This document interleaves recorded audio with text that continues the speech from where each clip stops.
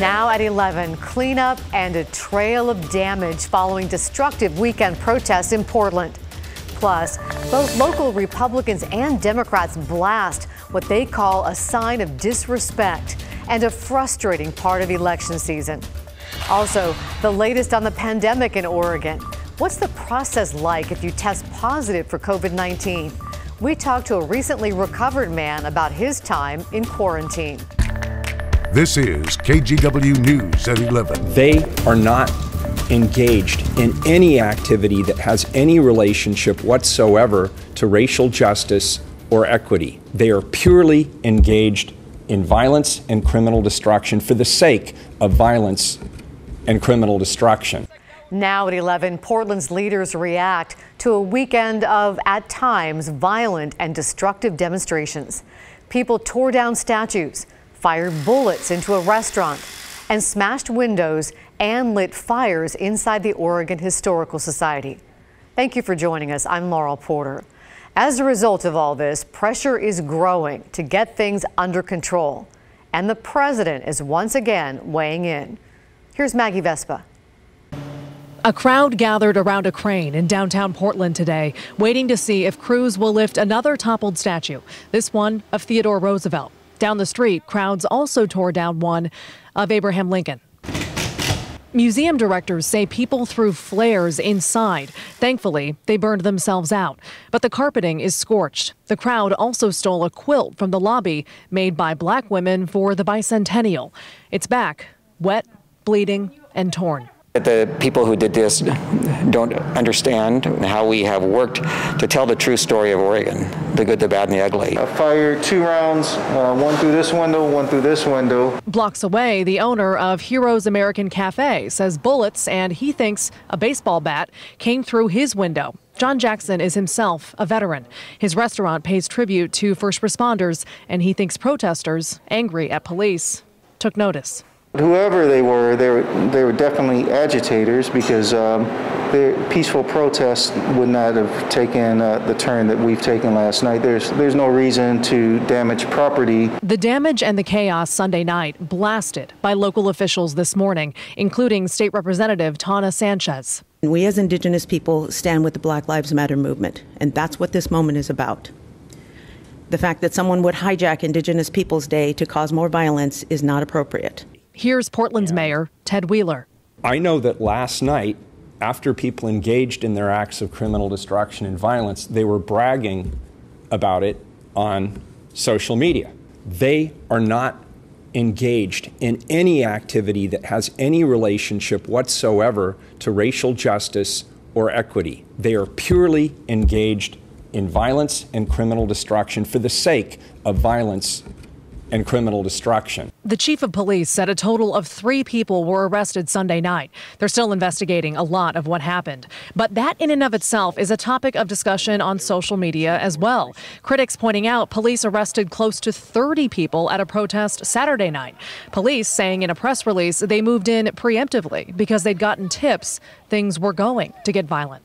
Now, there was another demonstration on Sunday of, quote, militia members, aka armed men marching through Portland with semi automatic rifles and, according to videos on social media, confronting people in downtown. Police in that case didn't arrest anyone. Now, the chief said that Portland police handled each demonstration as they did based on a number of factors, including safety and available resources. The mayor now is calling on everyone in the community to denounce violence. Meanwhile, cleanup continues today. Museum directors say repairs will cost upwards of $25,000. That said, there are a few bright spots. Restoration has started on that quilt, and staff are hopeful. There was also this note left by a homeless man named Oscar. He wrote he had seen the damage and donated what he could to help.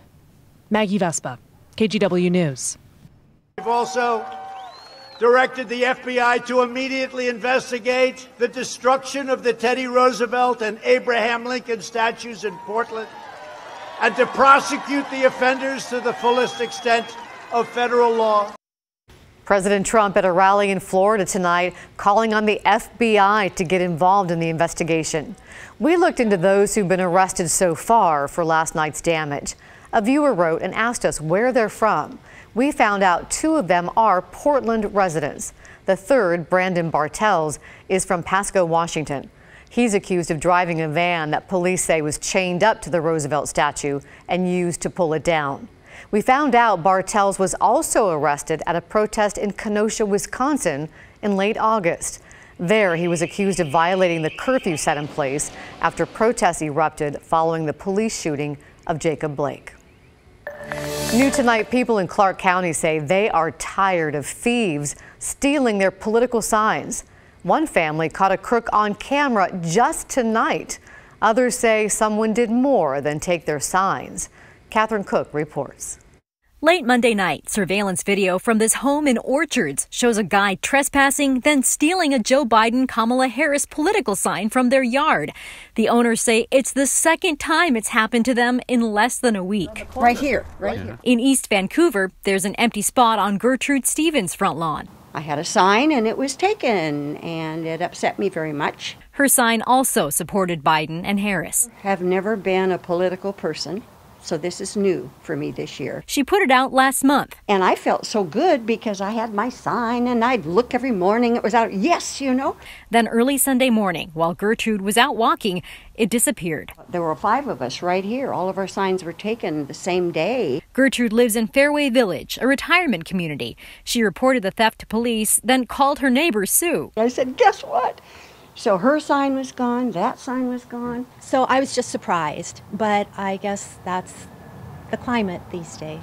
Besides losing her sign, Sue and other neighbors found this note on their doors. It was a two page rant, and I was really upset that because it starts out with, as your fellow neighbor, the author writes, I am truly fascinated that you are choosing a candidate that will probably die very soon.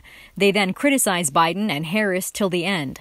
It's unclear if the person who left the notes also stole the signs. I was disappointed and upset. I felt a little harassed. These neighbors bought new signs, 20 bucks a pop, from the Clark County Democrats. Chair John Oberg estimates 50 to 75 people have come by over the last month needing replacement signs after theirs were stolen. Oberg suggested, let's do what we learned in kindergarten and leave everybody's signs alone. As for Clark County Republicans, co office manager Anna Miller says they've been dealing with their own sign theft issues. She estimates two to three people a day come by for replacement signs. That's roughly the same number as Democrats.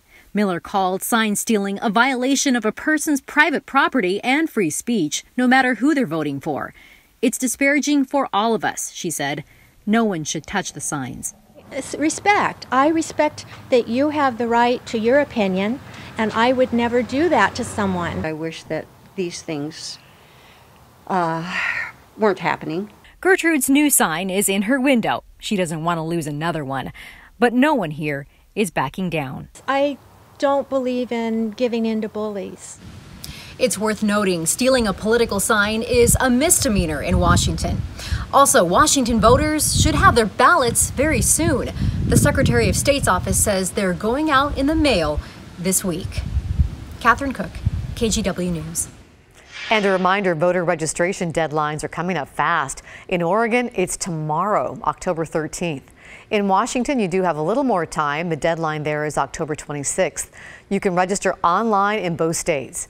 You can also check your registration status and update your mailing address if you've recently moved. And before you mark your ballot, check out our voter's guide on kgw.com. We have information about all the candidates and the measures for you right there. Today, the Senate Judiciary Committee started hearings for the Supreme Court nomination of Judge Amy Coney Barrett. She made her case today, saying she plans to stick to the words of the Constitution. I have been nominated to fill Justice Ginsburg's seat but no one will ever take her place. But courts are not designed to solve every problem or right every wrong in our public life. Democrats are focused on health care and how six conservative justices might rule on the upcoming challenge to the Affordable Care Act. Republicans, meanwhile, are keying in on religion. Barrett is a devout Catholic. They are attacking you as a mom and a woman of faith because they cannot attack your qualifications. By replacing Justice Ruth Bader Ginsburg with someone who will undo her legacy President Trump is attempting to roll back Americans' rights for decades to come. Republicans believe they have the votes to confirm Barrett before Election Day. Democrats are hoping to pressure Judge Barrett to recuse herself from any cases involving President Trump.